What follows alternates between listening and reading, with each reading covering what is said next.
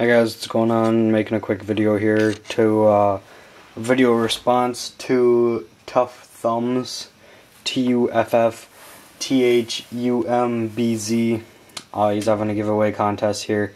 He just wanted to know three things. Um, well, first off, I think your channel is great. It's going uphill from here. I can see. Um, keep those videos coming, man. Um, and he's got a pretty good giveaway. Go check him out. Um, so first thing, he wanted to show your knife collection and your favorite movie and your worst Christmas present. Sorry, I'm reading this off my computer, but I'm gonna do this backwards. Um, so my worst Christmas present was about mm, two, no, maybe four years ago. um, I had a big giant wardrobe box sitting there all wrapped I opened it up and my cousin jumped out. So, yeah. Um, and then I ended up not really getting anything because they wouldn't let me keep him. Um, favorite movie? I love movies. I have so many favorites.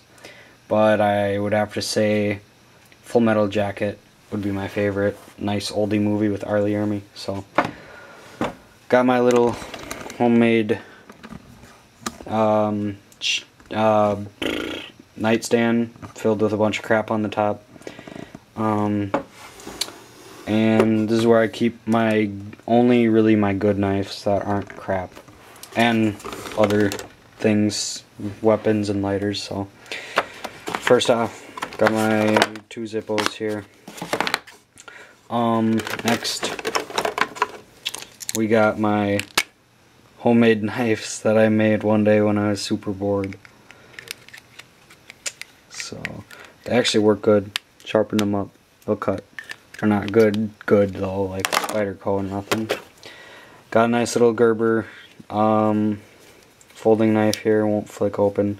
It's really nice. Got this in a trade deal. I like to mess around with it. It's actually pretty sharp.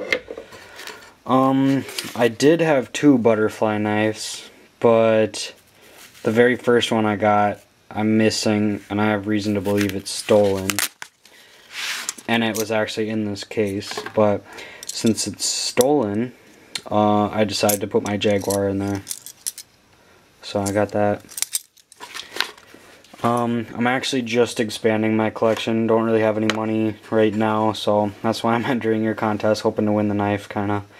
Um, hoping to get some money too. It is my birthday today so hopefully I'll get some birthday money. Uh, next we got a Winchester collectible knife in a tin. Picked it up at like it was it's like a limited edition and picked it up at uh Cabela's on sale. It was like 10 bucks. It's sharp actually. Got my little flashlight. Gerber suspension multi-tool. By far my favorite multi-tool ever. The knife that comes on it is actually really sharp. Got my Boy Scouts knife when I used to be a Boy Scout. Um, I use this to whittle, but we only whittled soap. And this is actually pretty sharp. I cut this whole chunk of my thumb off. That was like seven years ago. Altoid survival kit. Watch my video on that. Eagle claw knife picked up from Blade Ops, 15 bucks. Automatic. Nice and small, pretty cool. Um, Winchester. I call it my Winchester case knife because it's like a case.